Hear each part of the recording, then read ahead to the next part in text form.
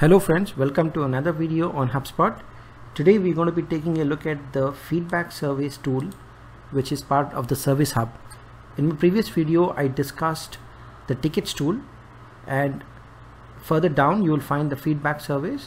If you click over here this page will open up. As you can see I already have some surveys up and running.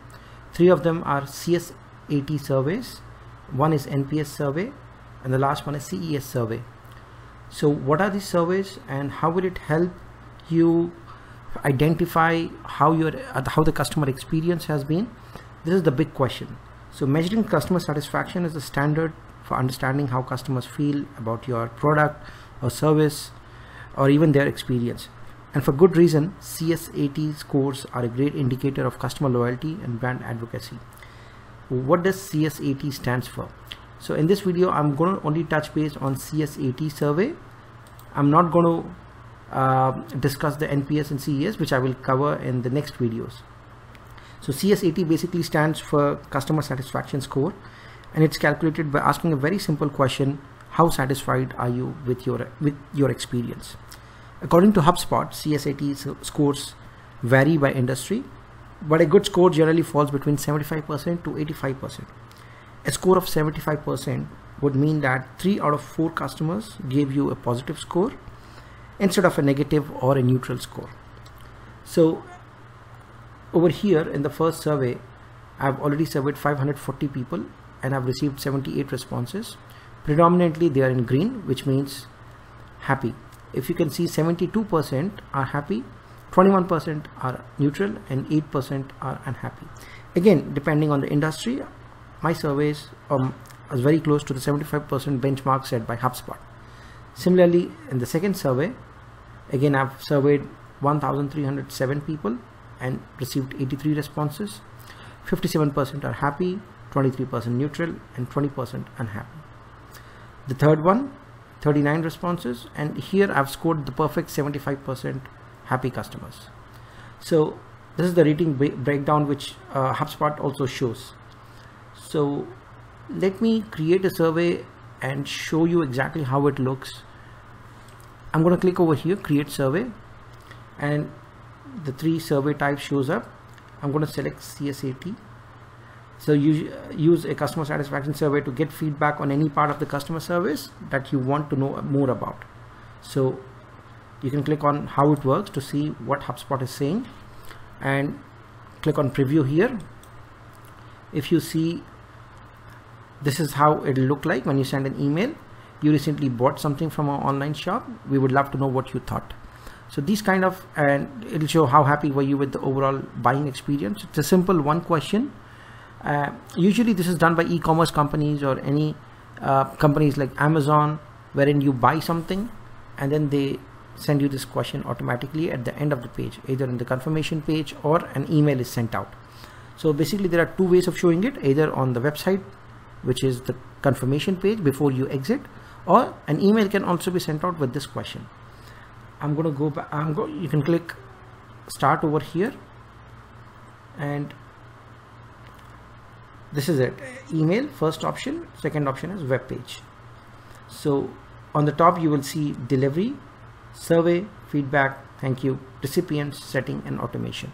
You can also do a preview or send even a test survey if I click on web page you will see that on any particular web page that you want this pop-up will show up. Now you can show this pop-up on left or on right or as a top bar or as a screen uh, full screen. Click on email and I'm going to go to I can rename the survey over here. Let's say I'm going to rename this as test survey.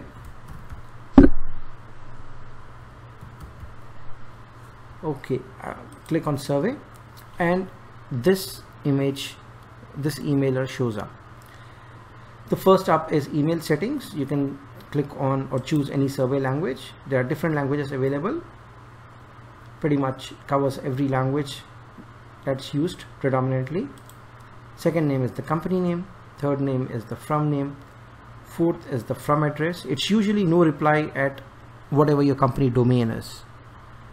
Subject line is hey how did we do? You can change this over here. You can also add personalization tokens. So for example hi and then add their first name. Choose a token. You can choose first name. Insert. So hi Robert or hi Samir whatever it is. How did we do? It'll show up over here with their first name. It will also pulling up over here in the email uh, body if you click on advanced settings then you will have the office location. Under the email body you will see automatically this is pulled in. Your opinion matters or you can always change this. Introduction. You recently bought something from our online shop. We would love to know what you thought. So HubSpot has automatically populated all of this greeting and the introduction and the survey question. So it's taking away the bulk of the work from you. And it's also showing you what is the standard standardized kind of a questions that you should be asking if you want to change this go ahead and change it. It's completely your call. Click on theme and you can change the logo over here. You can either remove it and you can replace it. Uh, again the theme. I have the orange theme selected. You can choose any of the themes that you want or even a custom color. Now that you have selected done this you can click on preview and this is what will show up preview step you can also look up the feedback and the thank you. And you can also look up this one in mobile and in um, in desktop and mobile and tablet. I'm going to go back to editor. Next up is feedback. So unhappy if you have chosen if somebody chooses unhappy then there's a follow-up question. Can you tell us more about your experience so that we can get it right the next time? So the customer writes the answer over here. I had for example I had a bad experience with the product. Let's say this is the answer which can be written down by the customer. Similarly if it's neutral if somebody chooses neutral then can you tell us more about your experience so that we can do better next time? If it's happy can you tell us why you scored us so highly? Uh, and then go to thank you so depending on the answer whether it was unhappy neutral or happy um, these icons will be shown up along with this message. Again you have you can customize whatever you want over here. You can even change the image. You can replace the image. For unhappy they have defaulted with this image. For neutral they have given this image. And for happy customers they have given this. So thanks so much. And then in the body again your feedback means a world to us for example for unhappy customers you want to give them a $20 voucher for example. We would like to offer you offer you a complimentary $20 $20 voucher. Get it here. So you can click over here and link that's a good option that HubSpot has provided. You can provide a URL and the customer when they click on here they will be redirected to that page where they can redeem the voucher. So you have the pretty good customizations over here. Recipients next up. So you have different options over here very powerful options. You also have the edit criteria here which is again good. So you can who do you want to survey? Now the question is completely dependent on you which industry you belong to when do you want to survey. So if somebody has become a customer not more than 30 days ago by default this is selected and I have 1951 people fulfilling this criteria. If you want to start from scratch you can start from scratch or you can set up uh, you can create a criteria. The, if you click on create a criteria then um, you can select customer date is between or is after whatever you want to do.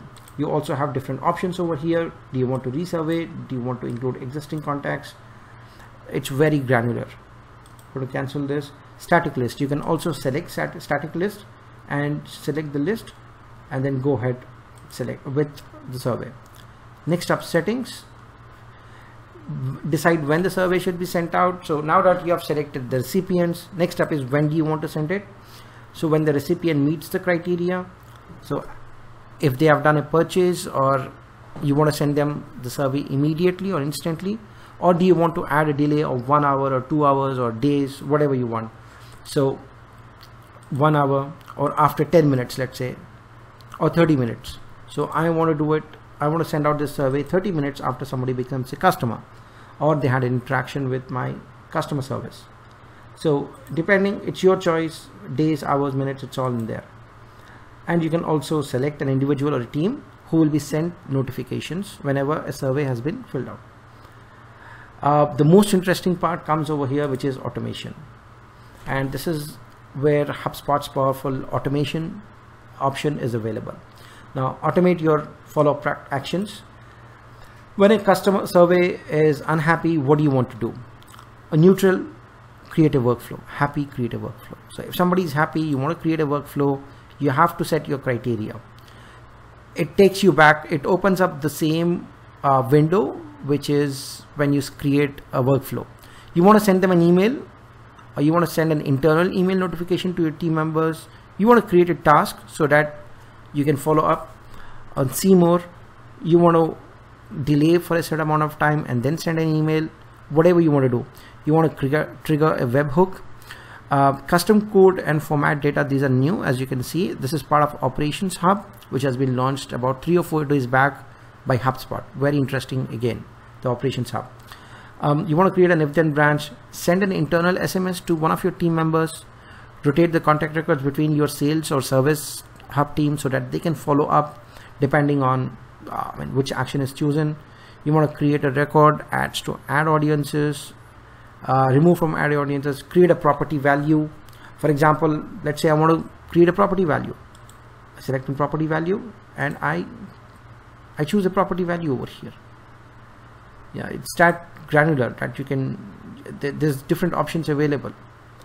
Um, you want to manage their subscription status you want to increase or decrease their property value add contact to zoom webinar um, that's because I have integrated with zoom so that's why this option is showing up. So depending on what action they take you can always create workflows from within the service hub uh, tool without even going to the workflows tool.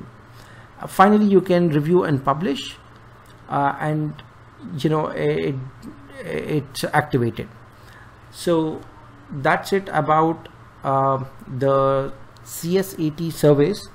So you should be asking yourself the big question, which is when should you send out these CSAT surveys? So the best time would be to send this survey after a meaningful part of the customer lifecycle has been completed, like an onboarding process or a sale or an interaction with a customer service executive, depending on your business. So that's it for this video. In the next video, I will cover the CES and the other survey. Thank you.